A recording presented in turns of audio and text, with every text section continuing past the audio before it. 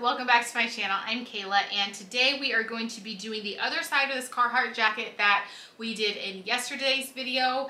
Um, for me it's just earlier today, but yesterday uh, I posted a video where we did the JT name on the front of this jacket. There you go. Now we're gonna do the logo on the back.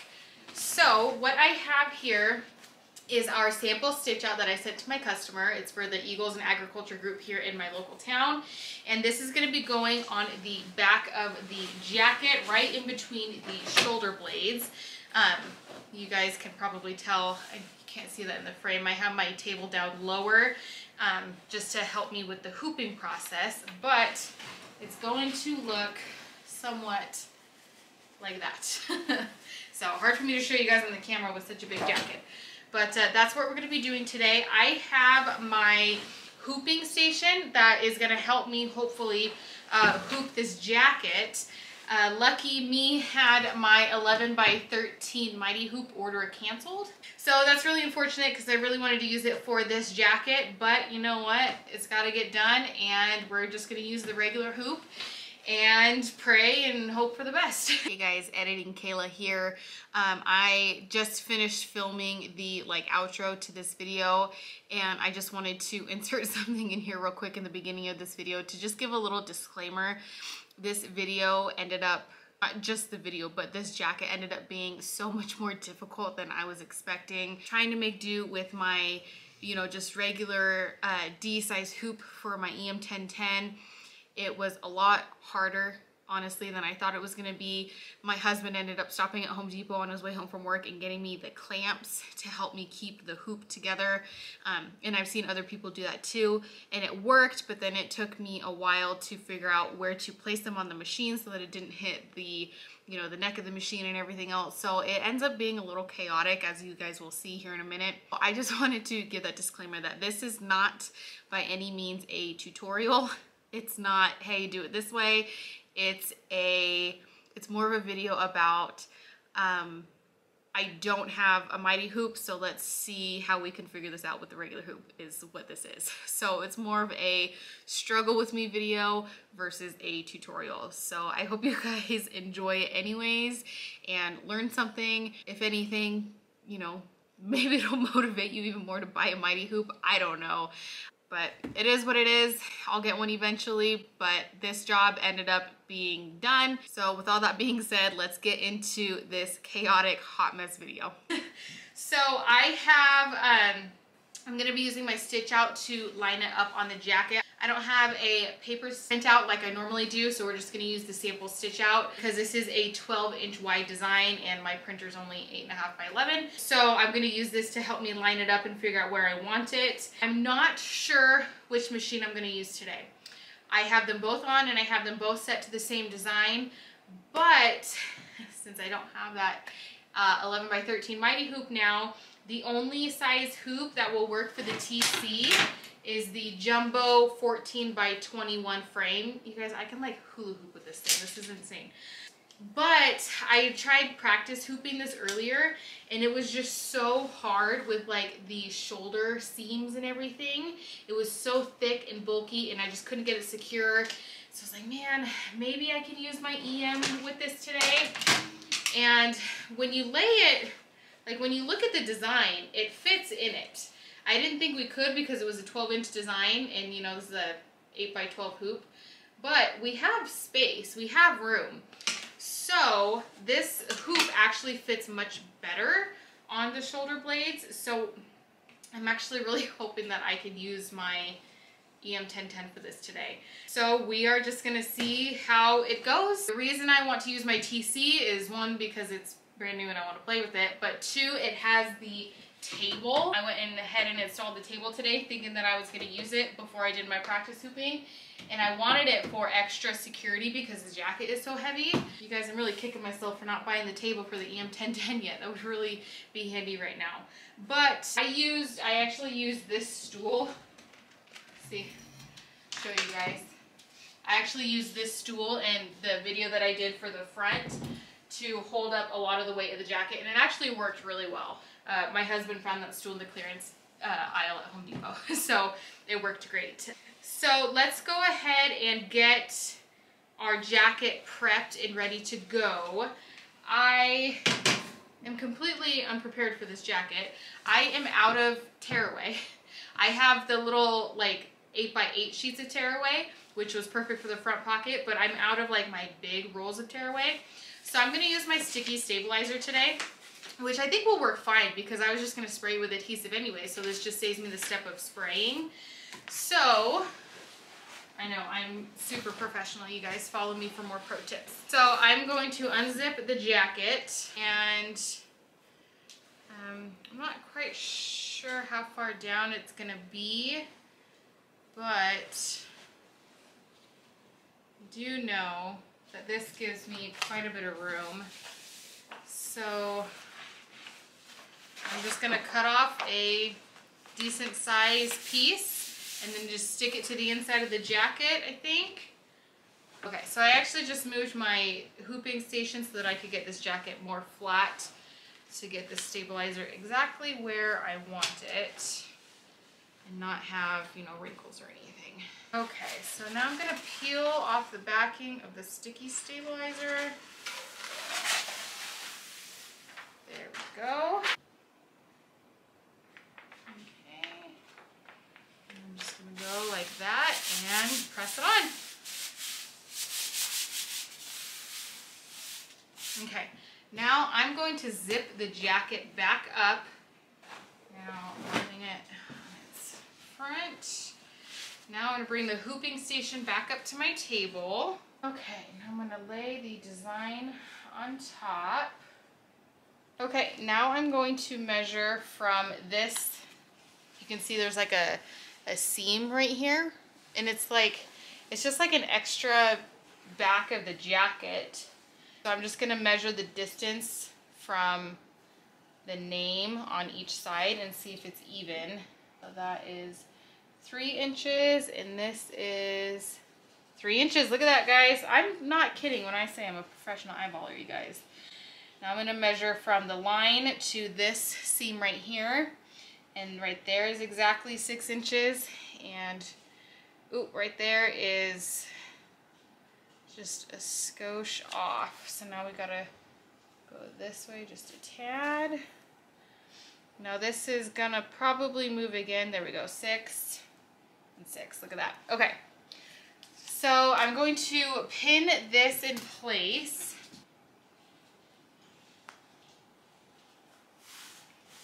Okay, now double check my measurements.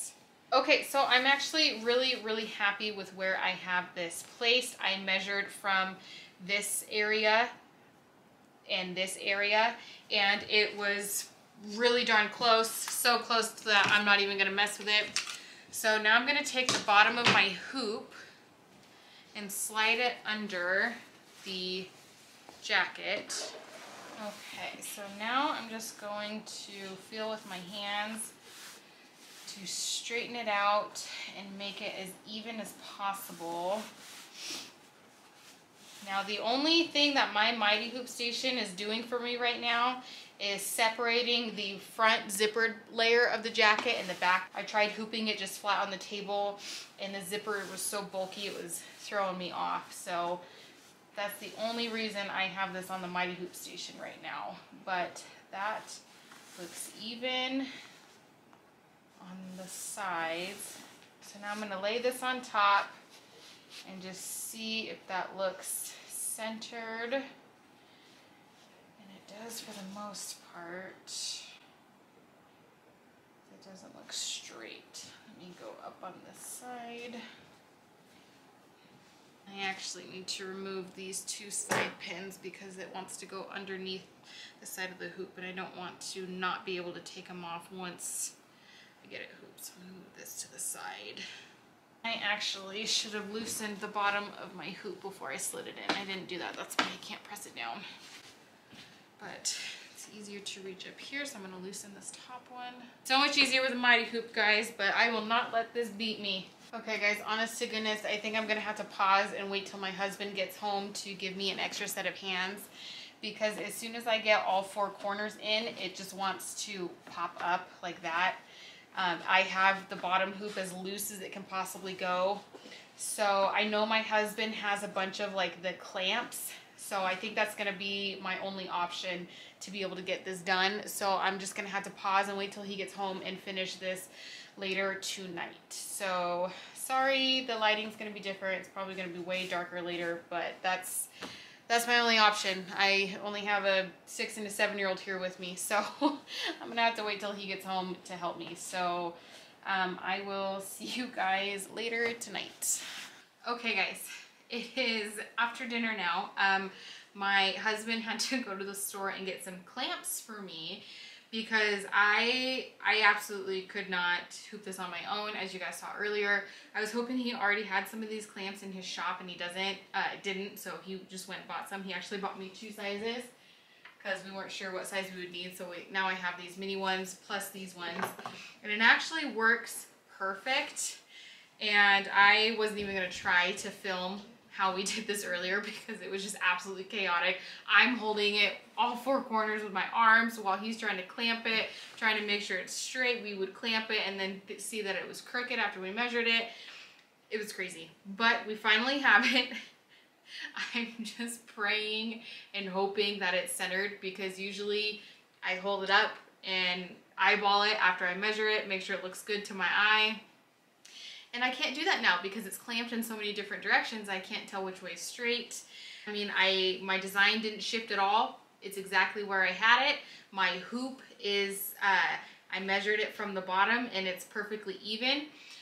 So we're going for it, okay? I know this is absolute, I know this is absolutely like not a professional video and it's not even a how-to. It's more of like a, uh, hey, how can we make this work when we don't have the right kind of stuff?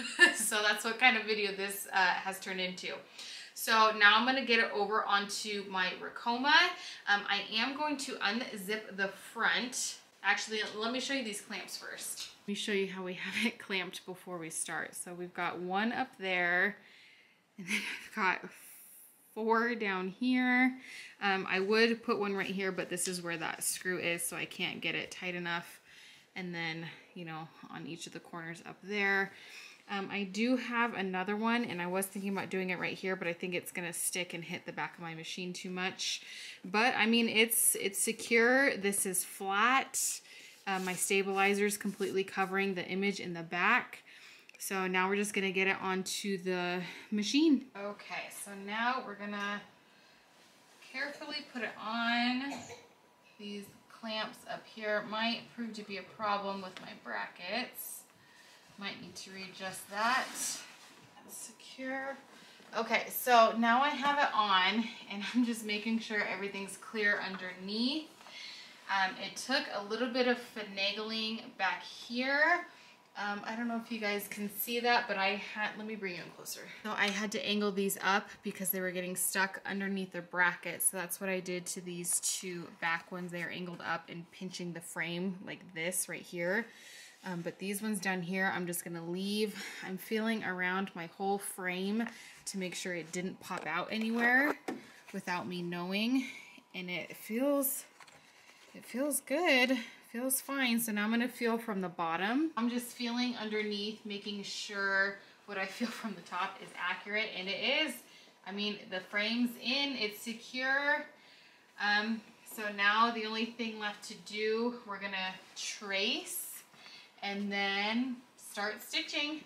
So I'm gonna lock my design. Um, I'm gonna trace off of needle number one Oops.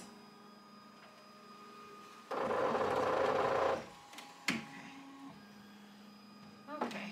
Alright. Alright, so there's a lesson learned, so that doesn't work. Okay guys, so I had to have my husband come back in here and help me for a minute. Um, I had two clamps up and down right here and it wouldn't go under the neck of the machine. So we moved more of them down to the bottom and uh, fixed it. It popped out on the one corner, but I fixed it and it's actually really, really snug right now. I've done several traces. It hasn't popped out and it's good. I have it centered exactly where I want it. So at this point, we're just gonna go for it. So this has given me many more problems than I was expecting, but it's good to know how to troubleshoot these things when you don't have the ideal product, you know. Of course, I would love to have a Mighty Hoop for this. I would have had this jacket done hours ago, but we're doing what we can with what we got and I hope you learned something from this video, if anything, what not to do. Uh, so let's uh, let's just go for it. Like I said, I think I said earlier, I already checked my bobbin. My thread's good to go. I've already traced it and contoured traced it several times to make sure it's perfectly clamped.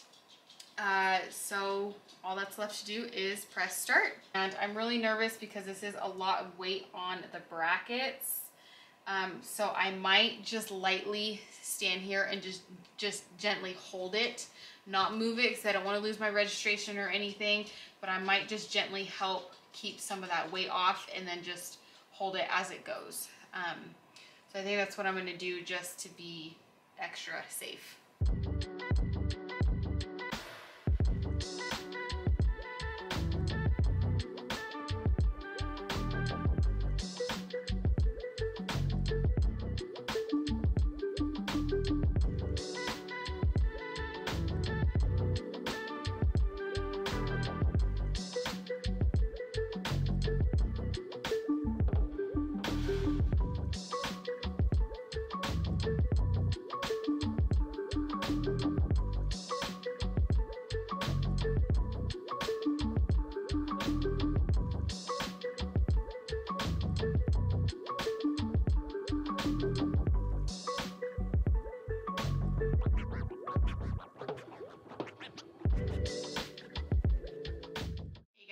You can see, it is the next day. Um, I was up really late last night working on this jacket.